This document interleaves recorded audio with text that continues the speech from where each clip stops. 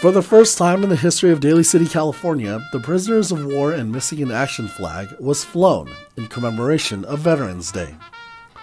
According to Daly City's Filipino American Mayor Ray Buenaventura, the City Council put forward a resolution to honor all veterans in the community.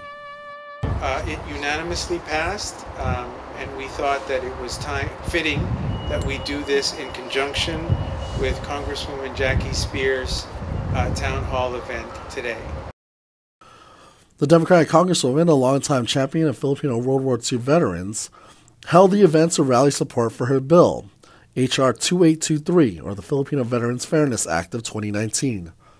It would restore veterans' benefits to those who are still living as Filipino veterans. There's some 11,000 of them. And then for the widows and family members of those um, who served as well. I stand beside Congresswoman Jackie Speier on the issues of equity. Back in the 90s, that was one of the issues that got many, many Filipino American collegiate um, organizers to start thinking about politics to cross organize between generations. Um, Besides addressing the injustices Filipino World War II veterans have to endure, Speier also took time to comment on the difficulty immigrant service members face when it comes to getting naturalized.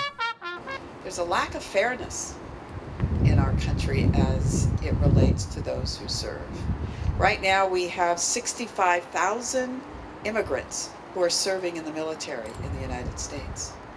And right now, this administration doesn't think that they should be able to become citizens. In 2017, the Department of Defense implemented new barriers which restricted immigrants to serve and use as a path to citizenship.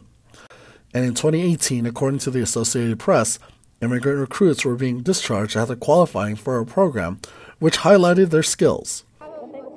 Meanwhile, the POW and MIA flag encouraged people to remember all service members. By law, it is supposed to be flown six days a year. Romel Clara, ABS-CBN News, Daly City, California.